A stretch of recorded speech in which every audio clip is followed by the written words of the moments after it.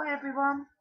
I've come to show you my order that I got from um, Jamie's shop, not too shabby, and I actually won um, the $5 gift certificate from Sybil on her challenge, Where in the World is Marci? So, I got um, this, which I've been after for ages and ages, and I can't find it over here anywhere. Cookie Emma. I think she's so cute.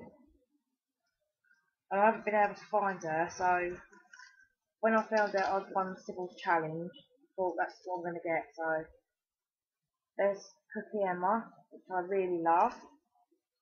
And while I was there, I got one of the new La La Lands, and I got it was really hard to decide what to get out of the new stamps. Um, but at the end, it was between Retro Marci and Hot Cocoa Marci. So anyway, I got Retro Marci. I just think she's so cute with her little skirt with the poodle on it. And her glasses. It's just so lovely. Lovely and 50. So that's the one I got and I can get Cocoa Marci any other time. But I love this. Sweet. And a little handbag. A little handbag there.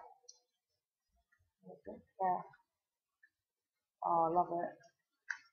So that's lovely. And Jamie sent me a couple of these leaves that she's got in her shop. And I'll me take them off of.